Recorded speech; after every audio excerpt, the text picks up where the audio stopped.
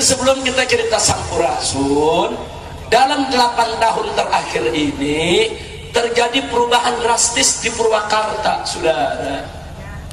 Bapak Ibu yang saya cinta, selama ratusan tahun Purwakarta itu menjadi kebanggaan orang Sunda, saudara. Kenapa?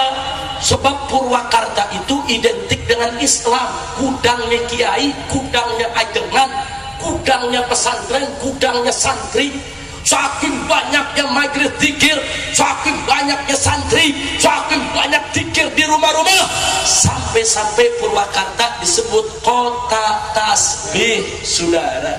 Satu-satunya kota di seluruh Indonesia yang dijuluki kota tasbih yaitu kota Purwa bagus tidak? bagus tidak?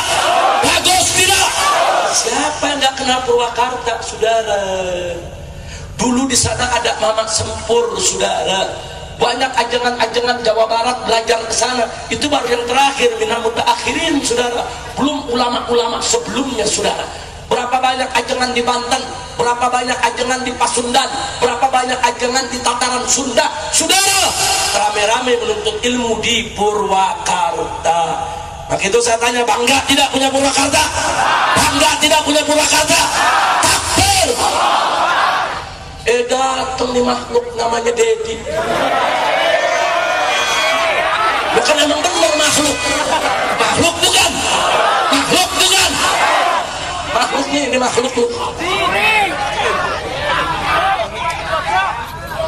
datang nih makhluk jadi bupati di Purwakarta saudara dia ubah Purwakarta. Dia bikin di setiap pelosok kota patung saudara. Patung-patung masa lalu.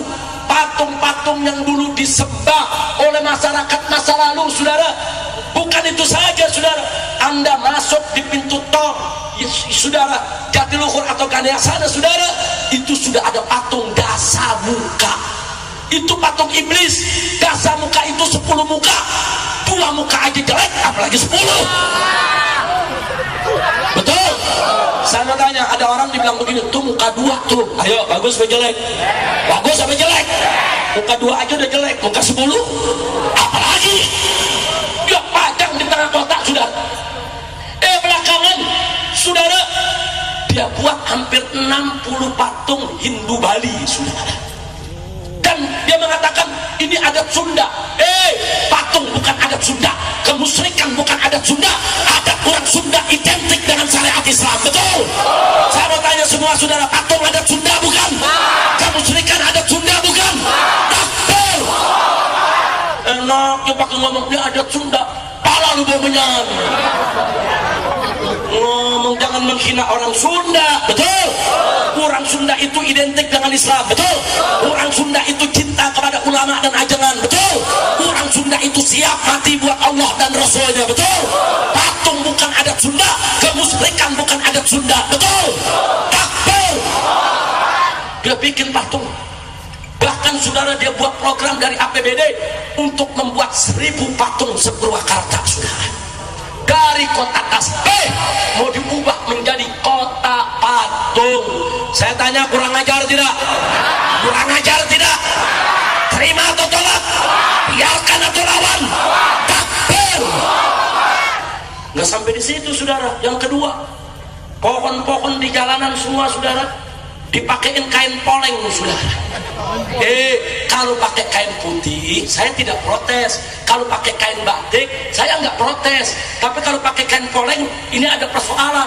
Kain poleng itu adalah kain ritual Hindu Bali.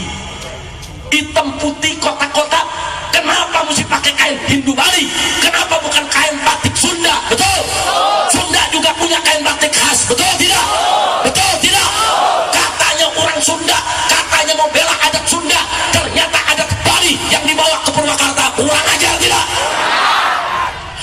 dipakai kain poleng. Itu di Bali. Orang Bali punya keyakinan setiap pohon itu kayak dedemitna. Nah supaya dedemitnya ini jinak dipakein kain poleng. Saya mau tanya saudara sesat tidak? Sirik tidak? Wafat tidak? Takayul tidak? Itu ajaran Islam bukan? Itu yang kedua. Yang ketiga nggak sampai di situ saudara saya bertanya sama orang Cikampek Kerawang tahu bebeki tahu bebeki bebeki tempatnya di mana? Buat nakut-nakutin apa?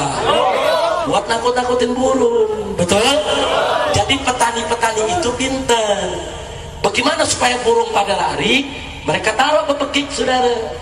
Yaitu patung orang-orangan orang-orangan yang dibuat dari alang alang-alang saudara nah burung ini kan nggak punya akal dia nggak bisa bedain mana petani mana alang-alang sudah.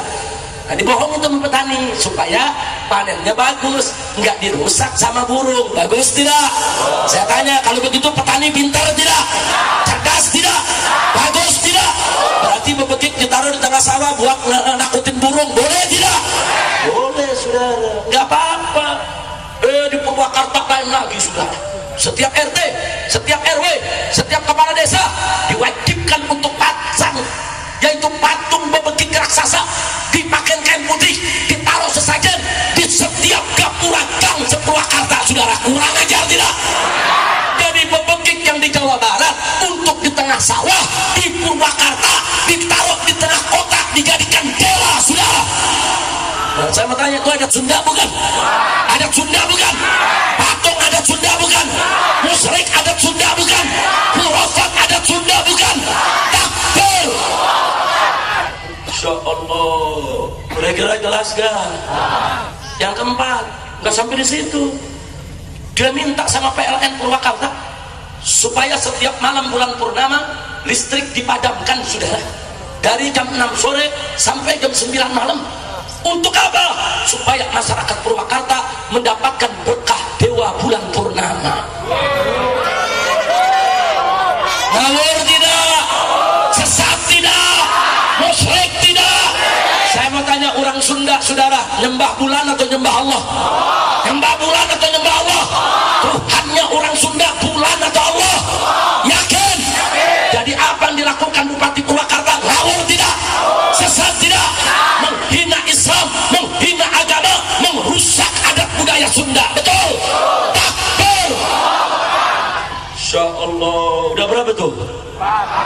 Kelima. Eng, eng, eng. Apalagi yang kelima, saudara? Beberapa waktu yang lalu saat ulang tahun kota Purwakarta, ini Bupati bikin kereta kencana.